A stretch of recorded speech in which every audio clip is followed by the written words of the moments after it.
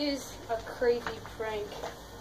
If you have seen a water bottle prank before, which you probably have, it's where you squeeze the water bottle and water goes all over the person's face. And you'd be like, hey, look, what do you see inside the bottle? And go like this, you squeeze it, and then it gets soaked.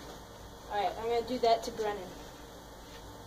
Pretend like I make this leaf disappear. Alright. Go get Brennan. It's just in my backyard, I believe.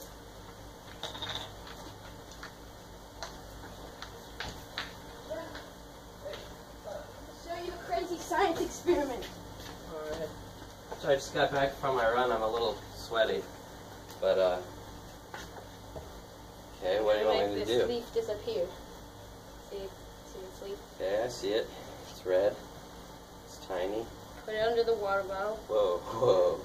And make it disappear. Where did you put it? You put it in the water bottle. What, where is it? Alright, now look through the cap right there and see if you can see it. Okay. Oh, okay, okay. Oh, whoa, dude. No, that's not cool. Oh, gross. At least I don't have to take a shower anymore. Oh.